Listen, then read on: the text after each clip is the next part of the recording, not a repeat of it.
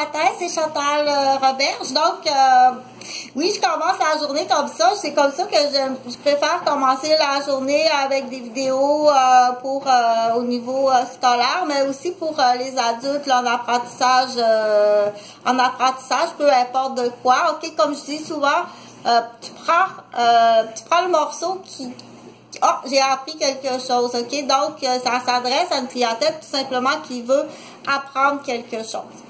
Euh, je donne des trucs comme ça. C'est euh, aussi pour ceux qui apprennent à lire, puis qui apprennent à écouter aussi. Je vais faire quelques erreurs. Euh, aujourd'hui, je vais intégrer des mots qui n'ont pas rapport à la phrase avec un soutien lunettes pour que tu réalises que ce mot-là, pourquoi tu dis ce mot-là dans cette phrase-là, parce qu'on est habitué à encercler une erreur visuelle. Hein?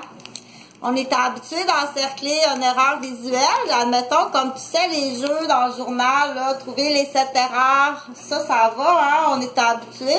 Mais trouver les sept erreurs auditives, euh, on est moins habitué à ces jeux-là. Effectivement, ils sont plus dispendieux.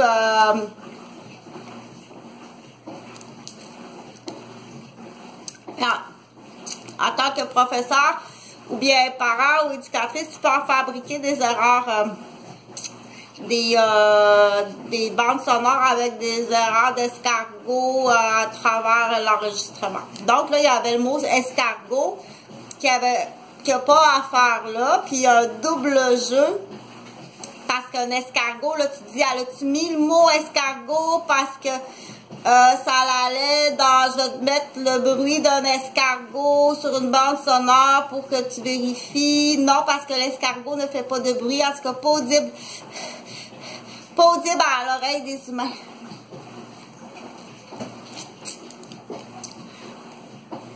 Très important pour les gens qui ont une blessure cervicale, ok? Pour pas que tu penches ta tête par en arrière ou une blessure de la trachée. La blessure de la trachée peut arriver après